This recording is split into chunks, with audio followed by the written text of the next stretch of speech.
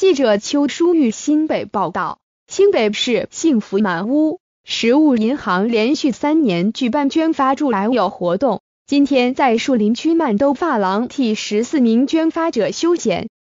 其中一名即将升国小二年级的陈克芳就在家长鼓励下捐赠，虽然心中还是有点不舍，但爸爸陈生红告诉他，让自己的头发更有价值，最后同意剪了三十公分的头发。陈胜红说，事前寻找捐发的影片让女儿看，有些大姐姐留长发捐发，帮助有些因为生病掉头发的小朋友能有健康的假发可以戴。不会感觉自己生命在流逝，也不会受到异样的眼光。现场也有不少母女档、姊妹档一起剪下长发做公益。其中，越南吉阮金县因为六年前丈夫过世，受到社会各界照顾，这次带住女儿一起参加活动。新北市议员洪家军更是第二次参加，大家最后也拿起自己的头发，开心的拍下照片留念。新北市社会局长张锦丽表示，